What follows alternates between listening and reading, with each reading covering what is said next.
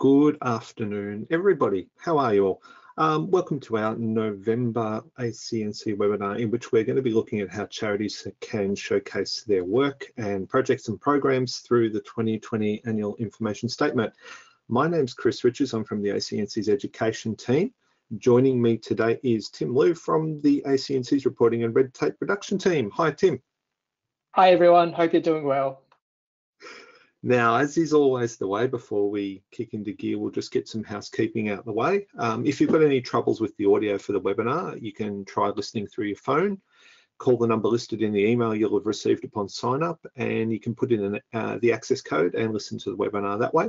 You can also type a question at any time through the webinar. We've got Matt and Gulna helping us out and responding to uh, questions and queries. We'll try and answer all the questions as they come through, but if your question isn't answered, uh, feel free to send us an email uh, at the end of proceedings and we'll get back to you. If you want to send an email through, it's to education at acnc.gov.au. Um, a recording of this webinar as well as the slides and the presentation will be published on the ACNC website within a day or so. As always, we'll send out an email with all the website links featured in this webinar, so you don't have to scribble down everything frantically as we go through. Um, we've also got a handout uh, that you will have received and have access to uh, through the GoToWebinar sort of panel there. Uh, it's got links to some of the sites that we'll mention today and some of the pages on our website that would be worth looking at uh, and that are relevant to what's going on today. Um, Finally, we really value your feedback. If you've got any suggestions for ways we can improve our webinars, let us know in the short survey at the end of today's session. So, he says clicking on a button and hoping things work. There you go. What's on the agenda for today? Um, look, the first thing we're going to cover uh, is we're going to look, I guess, a little bit more from a wider perspective um, and explain the ACNC's role of uh, maintaining, protecting and enhancing public trust and confidence in charities and the charity sector. Um, and in that, how the annual information statement plays a crucial role in, in those efforts. Um, our focus here obviously is going to be on the 2020 annual information statement or AIS as we'll shorten it to through our session today. Um, and it's the 2020 AIS that charities can use to showcase their work through their normal question answering processes, I suppose. Um, we're also going to focus in through the 2020 AIS on the program section. Uh, we're going to look at what a program actually is. Uh, we're going to work through what the program section of the AIS asks. Some charities may have already used uh, our, our program previewer on our website or they may already know about it. Um, it's going to get a, a well today in the webinar as well. We're going to um, go through things and, and, and have a look at how things work there. Um, what else? What else are we up to, Tim? Yeah, so um, as part of that, when we go through the webinar, we'll take you, oh, sorry, the preview to, we'll take you through some of the questions that your charity will be asked um, mm. and go through the ways that which you, in which you can answer the question to best showcase, you know, your charity's work, its programs, and its efforts. Um, we'll also have a look at the ACNC Charity Register, uh, which is, in particular, we're going to show you how your programs display on each of your charity records. So that's an important part of showcasing what you do and will help the public, us and donors to understand your charity's programs. So we've got a bit to do and a bit to cover. Um, as a starting point, we'll look at our role of um, maintaining, protecting and enhancing public trust and confidence and how the AIS fits into those efforts. Um, look, when the AIS was established, uh, it was established under the ACNC Act that act contains or contains actually three main aims. More formally, they're, they're called objects um, to guide the, the ACNC's efforts. Um, one of them is to, as we've said already a couple of times, maintain, protect and enhance public trust and confidence in the sector through increased accountability and transparency. Um, as the charity regulator, this is of course a, a vital part of our work and, and, and what we do. Um, we achieve this in all manner of ways. Uh, a couple of the ways, I guess the more noteworthy ways uh, or things the ACNC are doing in the near future, one of them is mentioned here on screen, a series of DGR reviews for charities uh, that have DGR status. For more information about that, that's uh, you can go to acnc.gov.au uh, forward slash DGR reviews. We've also received some funding in the most recent federal government, uh, federal government budget uh, to carry out a, a, series of, I guess, field-based risk reviews on charities around Australia. Um, I've got ahead of myself there. There's an update on on that as part of the uh, a part of a media release uh, we released last month. If you go to our media section um, and have a look, there's some details about that. Um, it's also in the um, in the handout that you will receive today as well, um, a, a, link to this uh, media release if you want to learn a little bit more about that. Now, so I don't get ahead of myself, I'll, I'll click this and, and Tim can have a, well, start us in on the annual information statement. Yeah, thanks, Chris. So as Chris has mentioned, uh, one of the most important ways that we will maintain, protect and enhance public trust and confidence in the sector is by having charities report to us annually through the annual information statement or the AIS. Now, most of you have already completed an AIS in the past, but for those who haven't, the AIS essentially just contains questions about a charity's activities, programs, operations, and some basic financial information. It also contains a range of questions that we ask on behalf of other regulators across Australia to reduce the reporting burden for a range of charities. Now, um, as you know, or as everyone knows, information provided by charities through their AIS um, can appear on the ACNC charity register. Um, and this is, I guess, where the 2020 AIS comes in. Um, we've made some changes and some, some tweaks to the 2020 AIS to give charities uh, a great chance to promote their work to, to even more people, uh, even more members of the public. Um, Tim, are you able to, I guess, explain a little bit about what we've done with the 2020 AIS and, and particularly the questions that focus on, on charity programs? Yeah, sure. Thanks, Chris. So um, focusing on the programs, what we've done is remove a whole range of questions that previously asked charities about their activities and instead ask questions about a program. So when our commissioner's gone out to speak to charities, he's his understanding and learning is that charity speak in the language of programs. This is what I do rather than a, an activity sort of discussion. So we're defining a program as an activity or service that a charity runs to achieve its charitable purposes for its beneficiaries. Um, although we previously sort of asked about, you know, activities, we're moving the focus to programs because we think it'll give greater granularity and information to the public to us and to anyone who's interested in donating to your charity. Now, oh, and also just to, I guess, clarify on that too, although I know it's up on the screen here, but when we mention beneficiaries, beneficiaries are, I guess, th those you aim to help if we're talking about people, um, uh, certain sections of the community. Um, so that's, I guess, what a program does. It sets out to help beneficiaries and beneficiaries are those that you aim to help. Um, we've, uh, I'm just having a look here. The, the ACNC has always asked questions about charity programs through the AIS. In 2020 and beyond, we're, we're doing this, uh, I guess, a little bit differently. Um, what are some of the differences? What, what are some of the things we're going to be looking at doing, Tim? Yeah, so I guess the, the main thing we've done is when we talk about programs, we've introduced a, a, taxonomy. So it's a taxonomy of uh, charitable classification. So in the past, we asked charities to report on their main activities. There were about 26 different options that charities could um, select from. We're now using a taxonomy developed by our community. It's called CLASSIE, uh, and that has been developed specifically for the Australian NFP sector. So CLASSIE uses easy, relatable language to describe a charity's programs. And there's over 840 different classifications that charities can use to describe their program. Now, with with CLASSIE, uh, and I'm, we mentioned our community here. Many many people who are with us today probably heard of our community. Um, so again, it's that emphasis on it being very much a, a, an Australian sort of a, system or a, or a, or, a, classification system that's suitable for the Australian sector and, and organisations in Australia is, is, is important.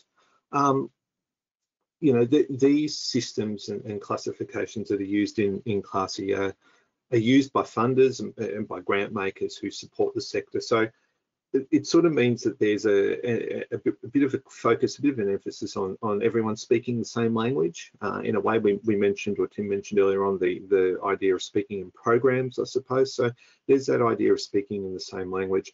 Um, now, the, the, questions that are being asked in this section of, of the AIS, um, they're going to offer a really strong and a very sort of relevant, real opportunity for charities to showcase their work because you'll be able to better describe it, better categorize it, and and the descriptions are you know easy enough language, down to earth, and and you'll be able to go through and ensure that um, you can categorize it in a way that's it's easy to understand for people who may be uh, looking for information about your group on, on the charity register.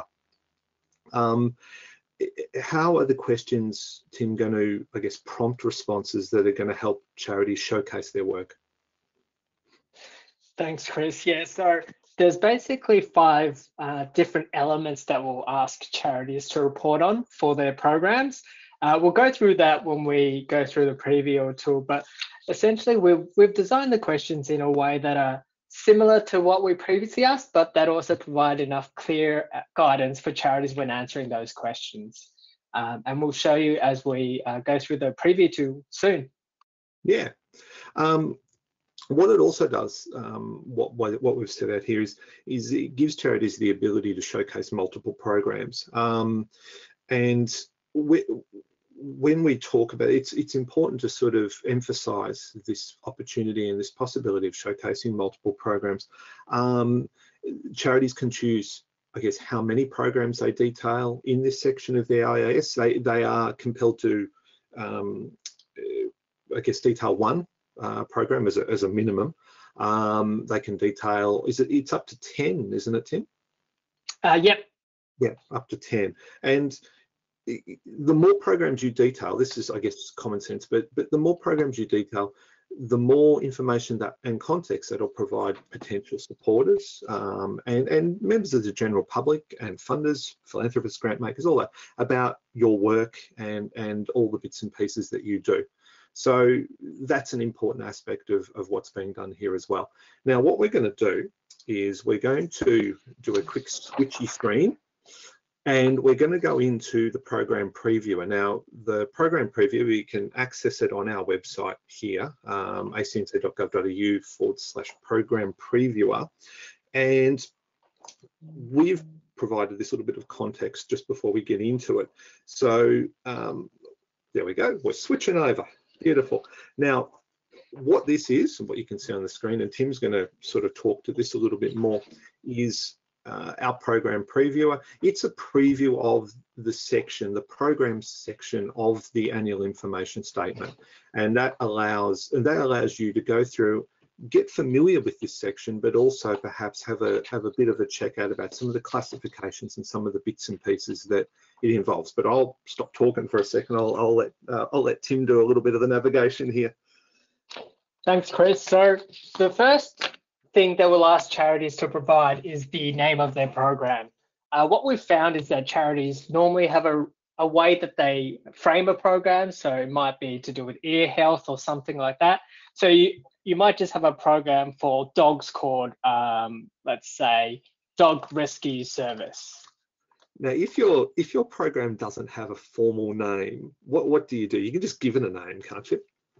Yeah, we recommend that charities just provide program one, program two, program three, for example.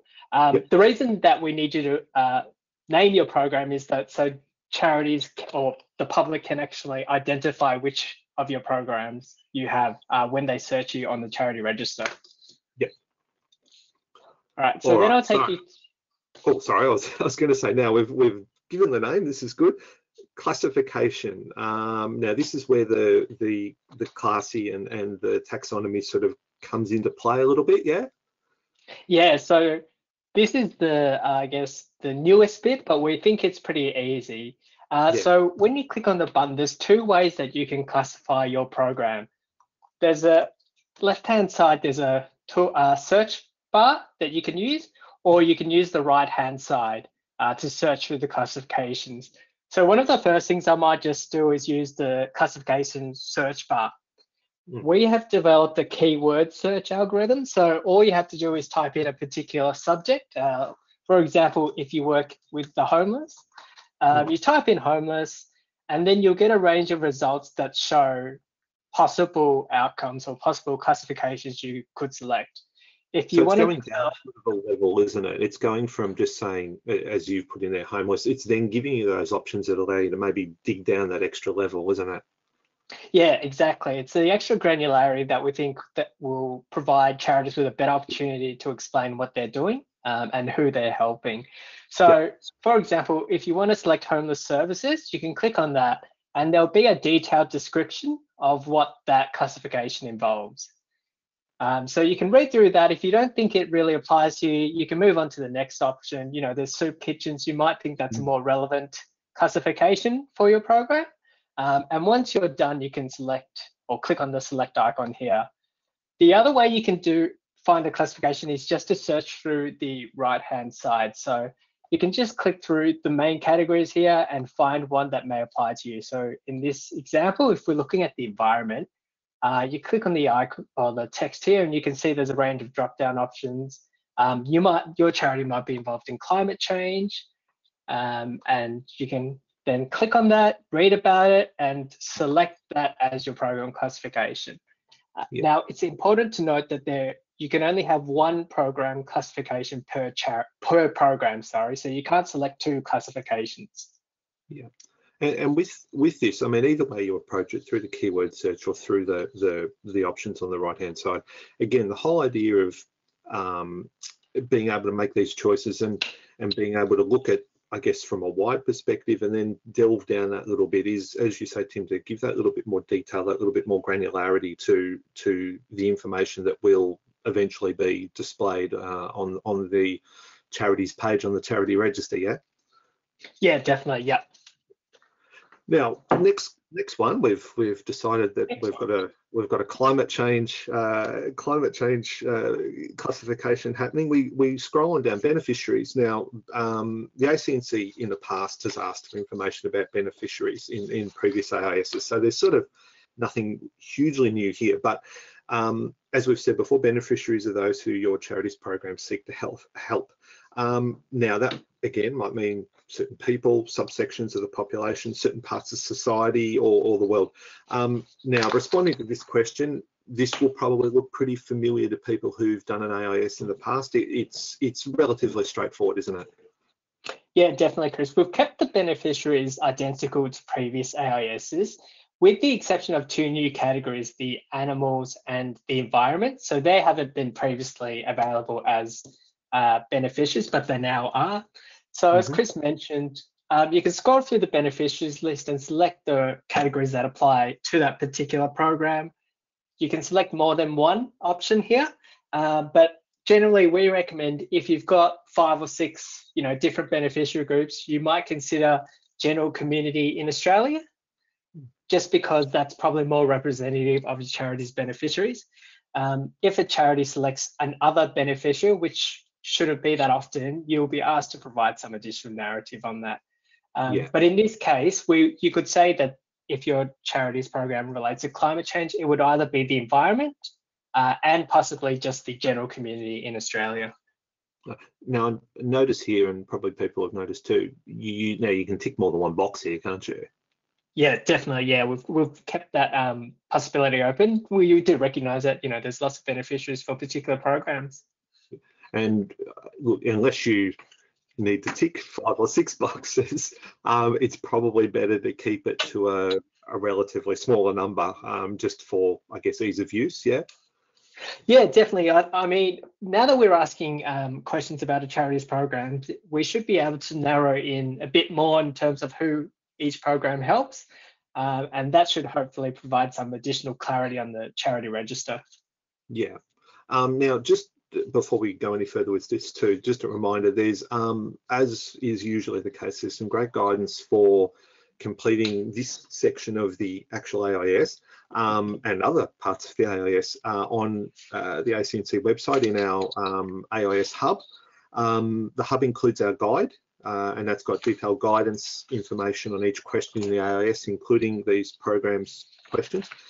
Uh, it's also got a checklist that you can go through to ensure that you've got all the bits and pieces you need before you start working on the AIS. So you've got all the documents you need, the information, all that sort of stuff. Um, so the AIS Hub, if you go to acnc.gov.au forward slash 2020 AIS Hub, um, you can go and have a look and uh, and get a bit of an idea. If you are using the program previewer as well, um, there is a, a, specific section of the AIS guide that relates directly to the questions that you will see in the program previewer. That's detailed at the top of the program previewer page uh, that you're currently looking at right now. So um, you'll be able to link directly to that. So, oh, here we go. We're going to zoom back up. There we go. Um, uh, yeah, uh, the 2020 Annual Information Statement Guide, refer to question eight under the charity program section of the guide for more detail on this section. So this will, that part of the AIS guide will be directly relevant to the questions that you see in the program previewer. So um, now, as we zoom on back down again, um, program location. So that's pretty straightforward for the most part, but there are maybe a couple of things to remember here, aren't there? Yeah, so this is probably one of the, the bigger changes we've made in terms of how a charity will report to us. Uh, for those of you who previously submitted an AIS, you would have just been asked to tick a box next to the state or territory that your charity operates. And maybe if it operates overseas, you, you tick that box and provide us with some uh, of those countries that you operate in. We've actually made it easier now for charities to report on their program locations. And recognizing the diversity of where the program operates, we've actually expanded the way that charities can provide the operating location to us. So okay. it's now a text-based search result. So if you click on add location here, charities are able to provide you know a range of operating locations. You can be as specific as you want. You could specify a street. Uh, you could even su specify a suburb, or yeah. if you're operating across Australia, you can just say Australia. So what I'll do is just take you through a couple of examples here. Um, so if you operate, if you wanted to provide a street address, you could say 10, uh, let's say 10 William Street in Paddington, that would be a street address. Uh, you then click on add an another location to provide us with a second one, for example.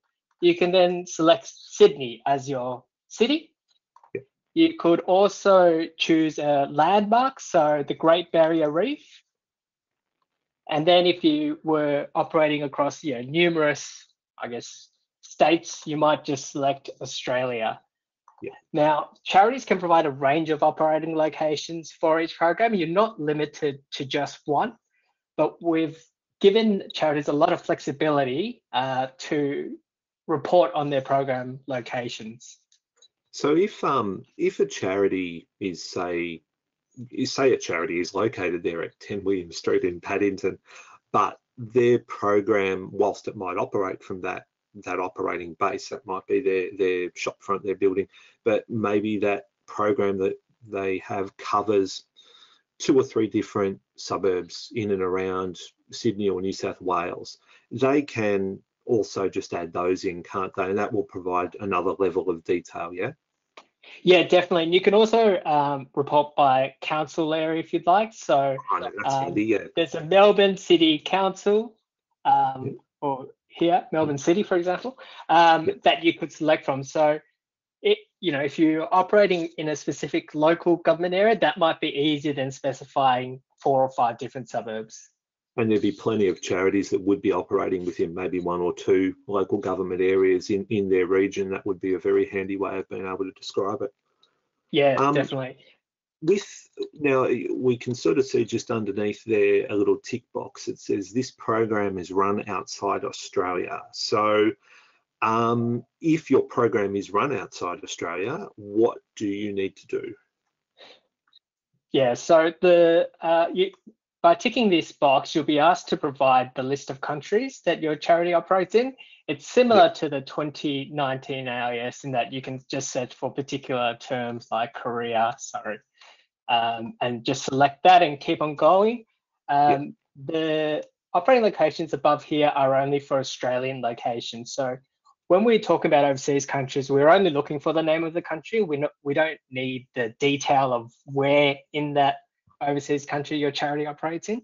Uh, yeah. And the other thing that we've allowed is the ability in the AIS for charities to select that they operate online. So if your charity is just a virtual charity, it doesn't really have a physical presence.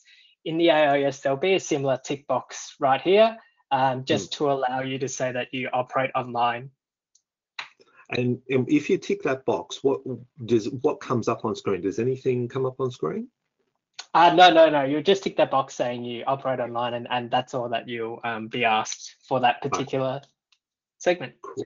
Cool. Now the last one, and again, you can probably just see it peeking at the bottom of the bottom of the screen there. Program web link. Um, now you can enter obviously your if you've got a specific spot on your website that um, maybe covers this program um, you know a specific page or a specific bit of information um, you can put that there you can be as detailed as you want if you don't um, you can maybe just put your general website your homepage um, uh, something like that something that you feel that's sort of relatively relevant to the program or the work that you do. Um, now, if uh, charities don't have a website, where what should they, what can they put on, uh, Tim? What, what would we sort of be happy to have listed there? Uh, we just recommend that you leave that blank. So when we ask for the details of a charity programs, all of these locations, beneficiaries, classification, and name are compulsory but the mm. web link isn't. Uh, we recognize that you know not every charity might have a specific web link for each program. Yeah, and uh, also too, if if you haven't if you haven't got a a website or a specific web page or something like that, but maybe you know, and Tim will correct me here, so I stand corrected if I say this, but you might be on a social media, you might have a, you might have Facebook, or you might have an Instagram page. You, you can you can put that as your web web link as well. Is that an option? Yeah, definitely, definitely. Okay, cool, cool. So that, that's look. This is pretty much this program preview, as we've said, that pretty much covers this section of, of questions. Um, as you can see, there are some bits that are familiar and pretty similar. There are some bits that we've made a little bit of a little sort of a few alterations and a little bit of change to um, ensure that we accommodate um, the, cl the CLASSIE uh, taxonomy, um, or that's pretty straightforward language and, and pretty you know plain plain speaking i suppose too. So um, importantly here too the the program previewer um, feel free to go and have a look at it. Feel free to go and have a bit of a, a play around take it for a test drive. Um, when you're done with it if you have say got a program and you've gone through and you've found all the bits and pieces that you want and you've got a nice description important to remember that the information that you put into the program previewer does not go across to your actual AIS. It's like a this is like a practice tool. So what you can do, and uh, again, you can probably just see down the bottom there, we've got a print button. Now that print button, it allows you to uh, now it, it can you can save a PDF, can't you, Tim, as well as print it out? Uh, yeah, definitely. Yeah, yeah. Just like um, any other web page, you could definitely do that so um, you know if you've done done a, a, bit of work and you've gone through and you've pretty much happy with all the bits and pieces that you've selected the categories the descriptions and all that sort of stuff save it up get it in a pdf print it out and then when you go and do your AIS that's another little bit of information that you've got in front of you it'll allow you to whip through this really quickly and with a with a minimum of fuss. So um, now that's the program preview. What we're going to do is we're going to toddle back to have a look at the slides again. Um, now that means I have to take control again, doesn't it? Goodness me. Let's see what we can do here. Alrighty. There we go. Look at that. Beautiful. All right, cool. Now, that's the program previewer. So from there, he says, trying to get things working. Here we go. That was one part of the equation, the programs part is sort of one part of the equation. Um, we hope that that little bit of a run through has helped you out and provided a little bit of clarity, a little bit of context on what's going on. Um, now, the charities providing information through the program section of the AIS, that's sort of one side of the coin. The other side of the coin is how we at the ACNC are going to display this information and display it in a in a prominent and, and good way. And this is where the charity register comes in. Again, you'll be familiar with the charity register, I would think, acnc.gov.au forward slash charity. Um, it, it, contains information about Australia's registered charities. Now, um, it's free for members of the public to search, available to everyone. The information is provided to us through charities' responses to the AIS. Um, now, though by of course, by law, we can only publish certain types of information on the register. So um, that, that's an important caveat to remember. Each listing on the charity register shows details about the charity, its, its purposes, uh, names of the people involved running the charity, uh, financial information, annual reporting, all that sort of stuff. Um, it's used already in all manner of ways. Um, and it's, it's already available, it's already up there. The information that charities provide to us through the, AI, through the AIS already appears on the charity register. So um, we, we know that members of the public, um, funders, um, uh, possible grant makers, perhaps philanthropists, um, possible volunteers, all go have a bit of a look at the register um, and I guess try and find out a little bit more about some of the groups on there, some of the charities on there, some of the work that they do. Um, so with all that in mind, how are we going to display this information through the chat that we've gained through charities answering these programs questions? Um, how are we going to help sh showcase this information to potential supporters and donors and, and volunteers? So look, what we're going to do is, again, we're going to do a quick switchy screen and uh, Tim's going to show us a little bit of an idea about the alterations and the changes that we're making to the charity register in the very near future and how things will look. So as you can see on the screen, we're, we're ready to go. I'll let, I'll let Tim do some talking. Yeah, thanks, Chris. So this is a, a live example uh, from a charity called the Aboriginal Health and Medical Research Council of New South Wales. So if you scroll down onto the overview page, you'll see that all the charity programs are displayed here. So this charity has provided us with 10 different programs, which is the maximum available.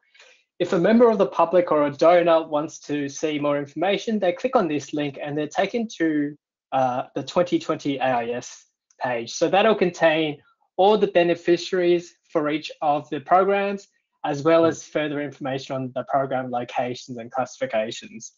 Now, at the moment, uh, the members of the public or donors cannot search based off a charity's programs.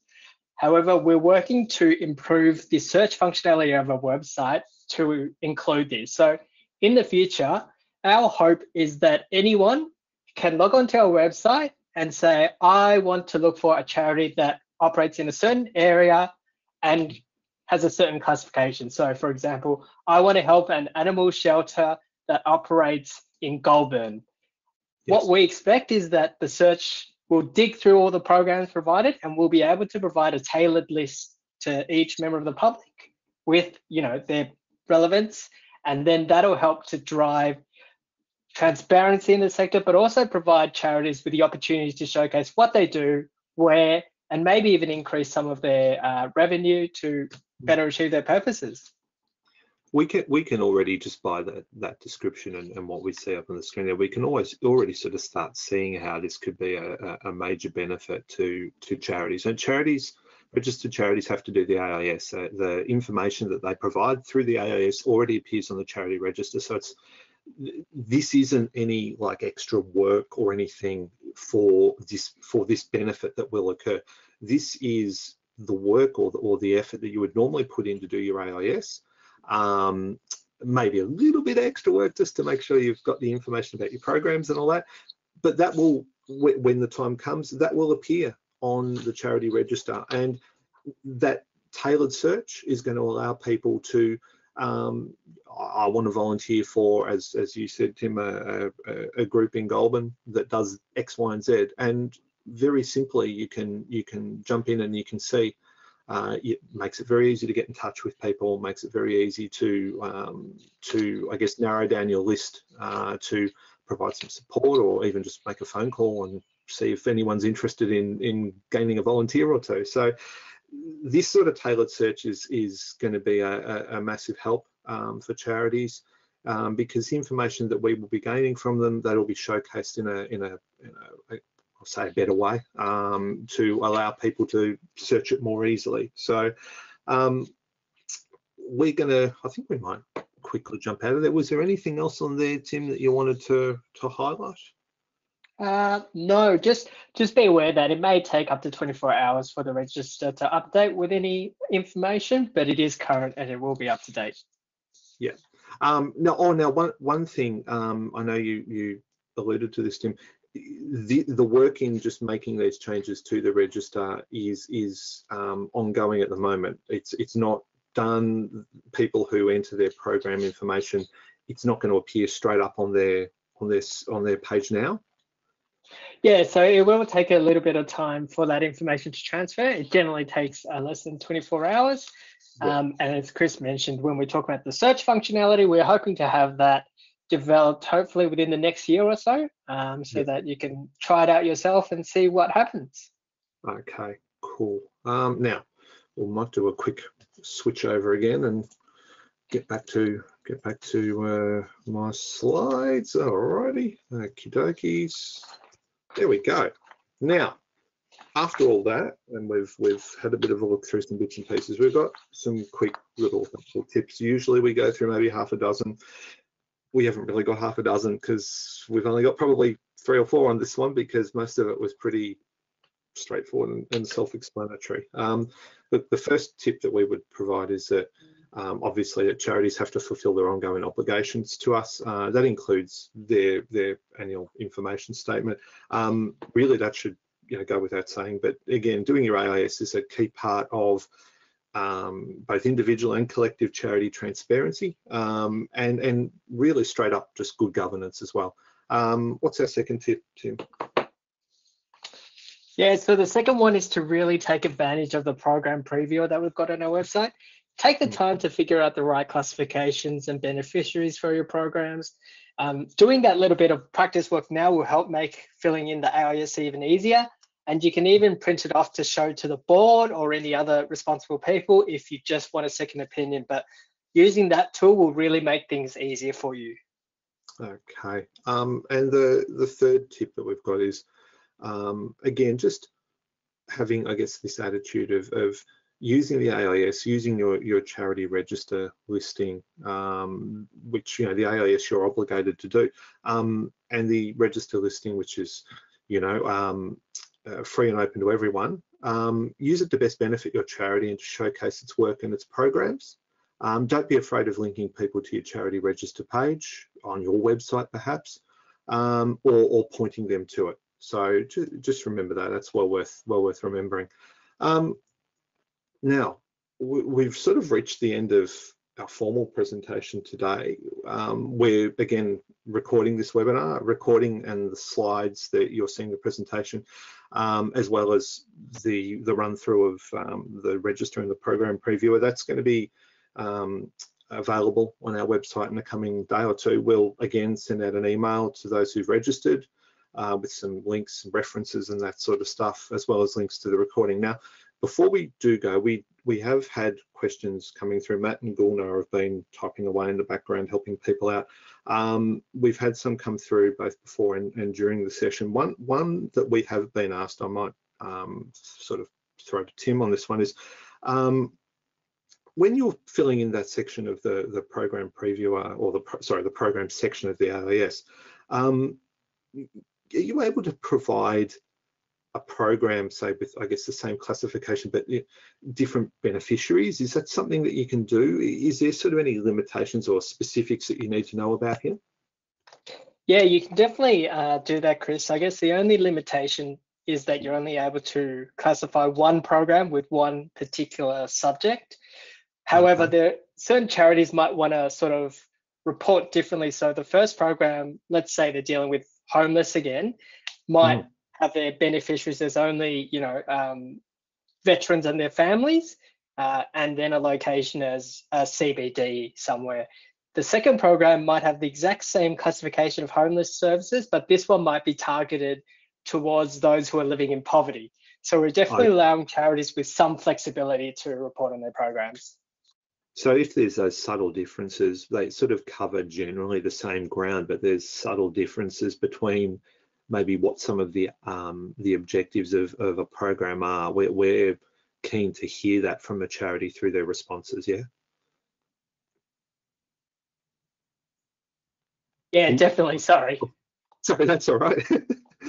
no problems. Um, now, is there, um, have there been sort of other, uh, I guess, you know, bits and pieces that have been floating around when when people have been looking at the the program preview and been looking at the program section of the AIS that um, that we would like to, or that you would like to emphasise, Tim, or is it is there more just a general take some time over it uh, type attitude?